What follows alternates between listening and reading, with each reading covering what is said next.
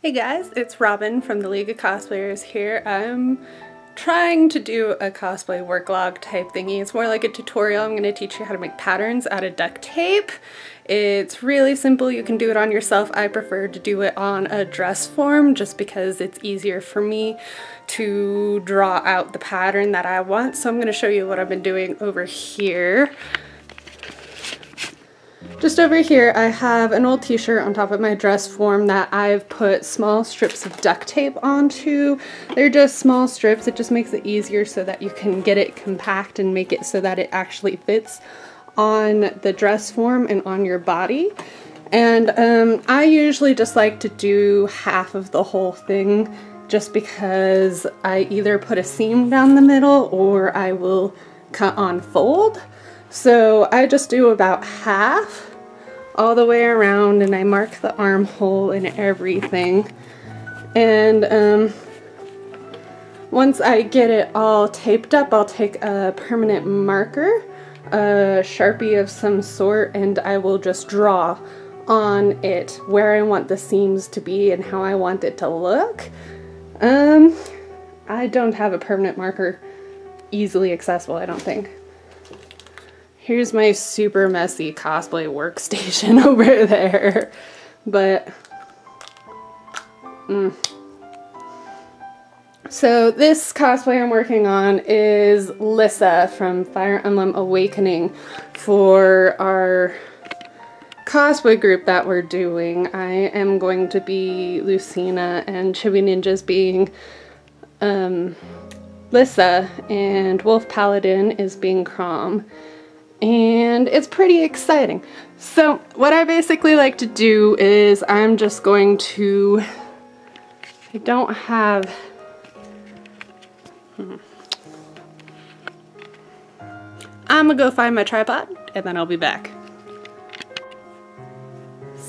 Sorry about that, didn't find my tripod, but I found something that works. So let me show you exactly what I like to do when I'm making patterns with the duct tape method. So I will basically just draw the pattern on. So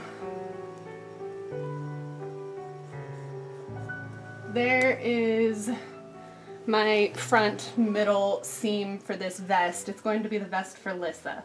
And it's basically, here's going to be the top of it because it comes down across underneath her bust. So I'm going to draw directly underneath the bust where I want it to be. And then I'm going to just circle it up and have it do exactly what I want it to do on here. And then later I'm going to cut it all out and mark all my seams where I want them to be. So over here, where my side seam is, I'm going to just draw a line for my side seam and then I'll cut directly onto that side seam and then later I will put them all down on top of my pattern paper and trace it out and give myself some seam allowance and whatnot. So I'm gonna finish tracing this and I'll get back to you when I'm done tracing.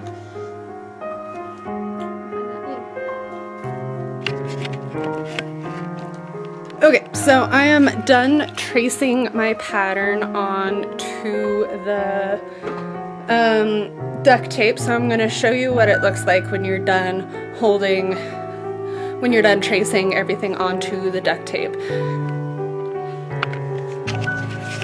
So here are all my lines. Here is the top seam right there. It's going to be exactly like that is. It's hopefully going to um, fit her right. We're not quite the same size, so I'm going to do a couple mock-ups and have her try them on before we officialize anything because like I said, we're a couple different sizes.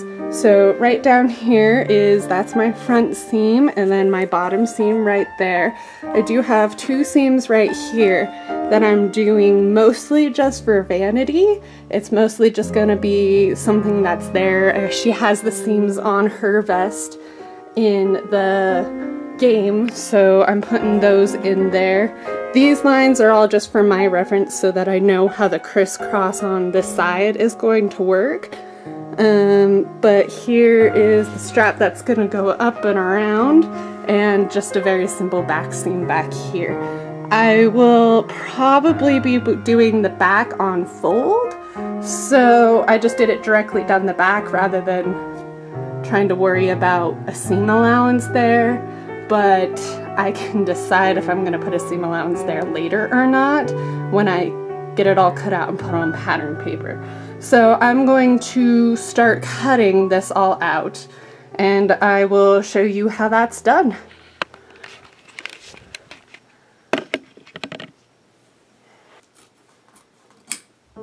So while you're cutting, you're gonna want to direct um, cut directly on the lines that you made because we're gonna be tracing these later on pattern paper so you can add your seam allowances then rather than having to worry about trying to add seam allowances right now.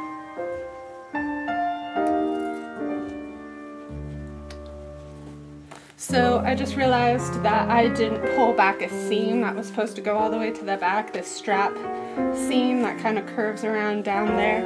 I didn't add that. The nice thing about cutting out the whole entire shape at one time, it's all just one shape right now, is that I can go back in and add that.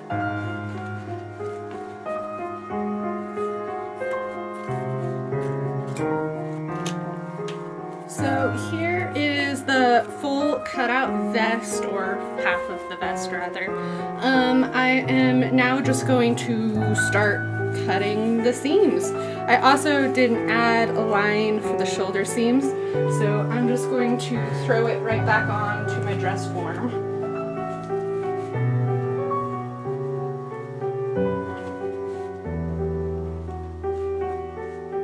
And add a line where my shoulder seam should go.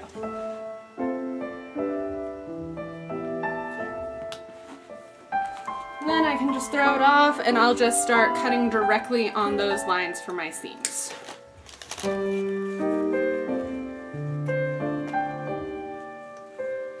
What I like to do while I'm cutting out is labeling them as I go. It just makes it so much easier to be able to figure out where the pieces go later.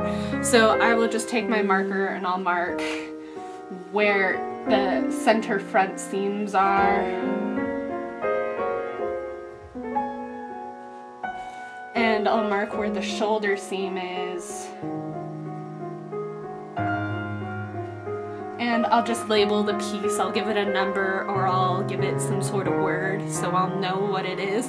This one I'm going to call the collar strap piece. Because it just goes directly like that along her. So there's that piece.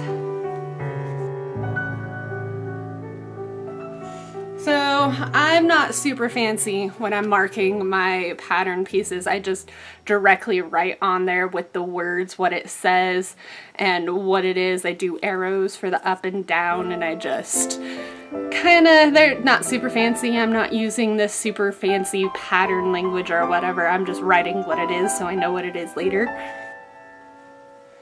So now that I got all my pieces cut out and marked, I can go through, depending on exactly what you're making, you might have some pieces that won't lay flat. Like if you're going to make a really intense corset pattern using this, which I have done before. I can show you my old pattern pieces if you want to see from my Lucina and stuff like that. But you will probably have to cut darts in them and then I'll, um, when you trace them down, you'll just trace around the dart so that you know that you have to put a dart in there to get it to fold and curve the way that it does on the body. Because this is duct tape, it's really malleable and this isn't super tight fitting, so I don't have to do that to any of my pieces, but you might have to in the future for any of your projects. That is basically how you make duct tape patterns. I've done it for um, gloves and armor where I just saran wrapped my arm and then I duct taped and just drew on the duct tape on my arm. It's very doable, it's really easy, duct tape's really inexpensive, and it's probably one of the easiest methods of duct of patterning that I've done. I do pattern out all my own stuff so this is really nice especially for when I'm not sewing for me and there's different sizes I can just throw it on my dress form and make a duct tape pattern and figure it out from there. So that's basically how you do it. Like I said, you're gonna wanna transfer it onto some newspaper, some pattern paper, give yourself some seam allowance, do a mock-up before you do it out of your really expensive fabric. I'm not gonna show you that process right now because I need Chibi Ninja here to try the things on as I'm sewing it. So maybe I'll show you tomorrow when I get together with her and we're gonna start working on it. But for now, this is the very basic duct tape, duct, duct tape pattern tutorial on how to make your own patterns with duct tape. Thanks guys, subscribe, see you guys later.